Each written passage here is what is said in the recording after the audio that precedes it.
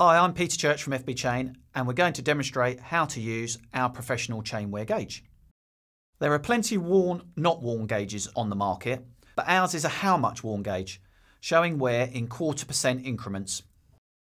It's very accurate and allows you to track chain wear at each chain inspection or equipment service.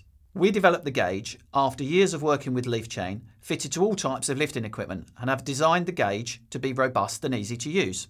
The first thing you need to do is check the jaws aren't damaged and the gauge slides freely.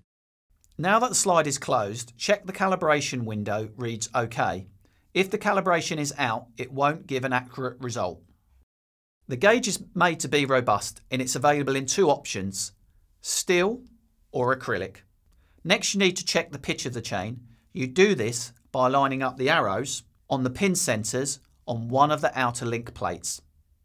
There are three sets of arrows to make it easy, whatever the position of the chain.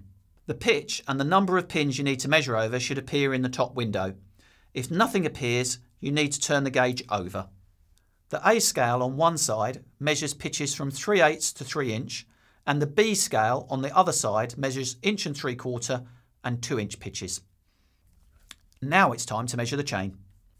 Put the jaws on the first pin and count down the number of pins instructed to in the box, extending the slider as you go.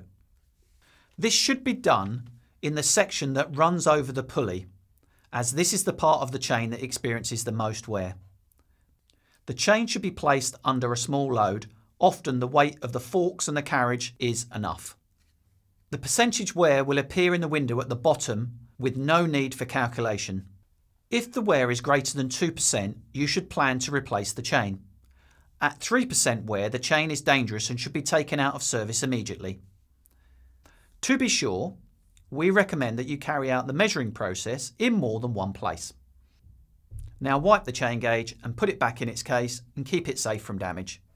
We're dealing with tiny measurements here, so that's why our chain gauge is much easier and more reliable to use.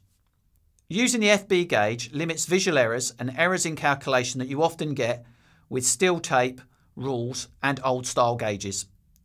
So you won't be needing them anymore.